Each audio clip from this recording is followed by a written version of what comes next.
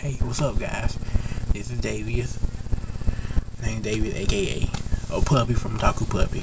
I just doing a video about Anime Atlanta Anime Day, actually coming up on 26th of this month. Just trying to figure out who's going. This is my first time going to to this con.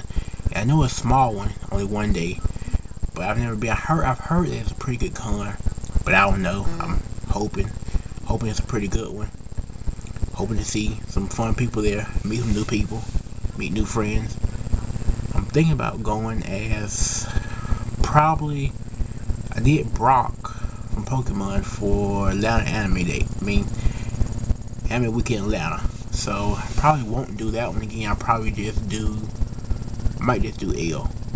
It's nice and simple, nice one day con. Probably just do L for AD. So if you're going, leave me a comment.